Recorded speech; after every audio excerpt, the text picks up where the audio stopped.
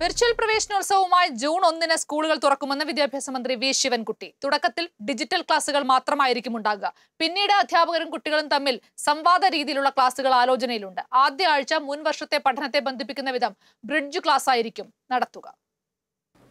ഈ വർഷവും ക്ലാസ്സുകൾ ആരംഭിക്കുന്നത് ഓൺലൈൻ ആണെങ്കിലും വെർച്വ വെർച്വലായ പ്രവേശന ഉത്സവം ഓൺലൈൻ ഓൺലൈനും ഒരു ബ്രാക്കറ്റ് ഒരു ഡിജിറ്റലും കൂടെ വേണം.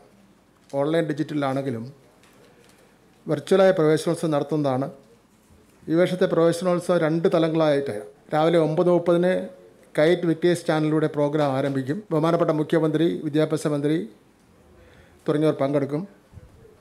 ഇതിനെ തുടർന്ന് കുട്ടികളുടെ കലാപരിപാടികൾ ഉണ്ടായിരിക്കും. തുടർന്ന് പതിനൊന്ന് മണി മുതൽ സ്കൂൾ തല പ്രവേശന ഉത്സവ ചടങ്ങുകൾ വെർച്വലായി ആരംഭിക്കുന്നതാണ്. സംസ്ഥാനതല ഉദ്ഘാടനം തിരുവനന്തപുരത്ത് കോട്ടൺ ഹിൽ ഗേൾസ് ഹൈസ്കൂൾ വെച്ചാണ് നടത്തുന്നതിന് വേണ്ടി തീരുമാനിച്ചിട്ടുണ്ട്. അധ്യാപകരും കുട്ടികളും തമ്മിൽ നേരിട്ട് കാണത്തക്ക രൂപത്തിലുള്ള ഒരു ഓൺലൈൻ സംഭവത്തിലേക്ക് പോകണമെന്നുള്ള നിലയിലാണ് ആലോചിച്ചുകൊണ്ടിരിക്കുന്നത്.